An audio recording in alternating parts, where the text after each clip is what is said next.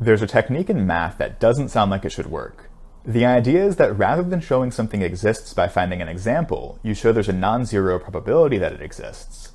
See if it didn't, the probability would be zero. This is called the probabilistic method, and it doesn't sound like it's useful, but let me show an example to convince you otherwise. Here's a problem. There's 10 points on a piece of paper, and you want to cover them all with quarters so they don't overlap.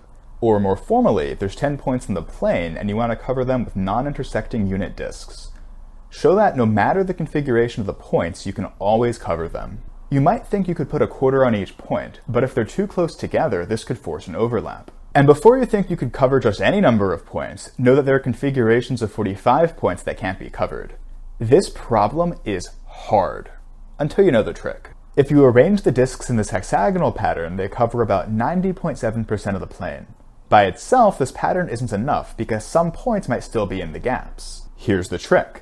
If we shift the pattern at random, then the expected number of points we cover is 9.07.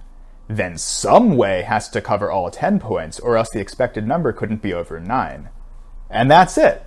I don't know how to find the way to shift it, but some way has to work. If you're not convinced yet of this technique's power, let me show you an application to one of the hardest problems for mathematicians party planning.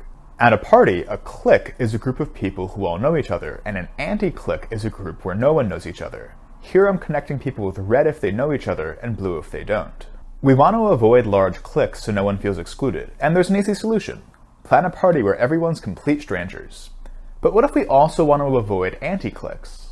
Well, I have some bad news. In 1928, a mathematician named Frank Ramsey proved that for any number k, a large enough party can't avoid both k-person cliques and anti-cliques. In his honor, we call this number that dooms a party R of k.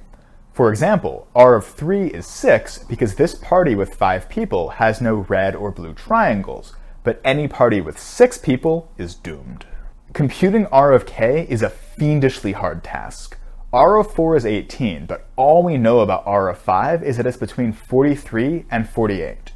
The most published mathematician ever, Paul Erdős, said something like this. If aliens invaded Earth and gave us a year to find R of 5 or face obliteration, then the planet working together could do it.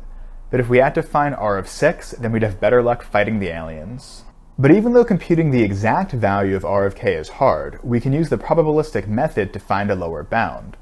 Let's assume that every pair of people has a 50-50 independent chance of knowing each other. We're going to find the probability that a group of k people is a clique. That's just 1 over 2 to the number of pairs. If you want to pick r things out of n things, there are this many ways, which we pronounce n choose r. In particular, there are k choose 2 pairs of people, giving us this probability that k people form a clique. It's the same probability to be an anti-clique, giving us this total probability that they're either. So what are the odds that with n people we get any k-person cliques or anti-cliques? This is still hard to compute exactly, but we can estimate it. If you have a bunch of events, the probability that at least one of them happens isn't bigger than the sum of their probabilities. Here, we have n choose k possible groups of k people, so the probability that any of them as a clique or anti-clique is less than n choose k times your earlier formula. But if the probability that there's such a group at all is less than 1, then there must be some positive probability that there's no cliques or anti-cliques, meaning that r of k is bigger than n. And with a little algebra, we find that if k is at least 3 and n is less than 2 to the k over 2, then this probability is less than 1, meaning that r of k is at least 2 to the k over 2. Here's what's really amazing about this. The best known lower bounds for r of k are barely better than this.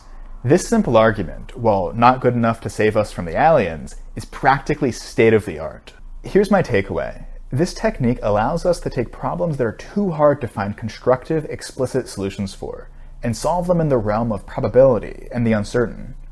The probabilistic method is a powerful technique, and if you're interested in learning more, I'll leave some links in the description.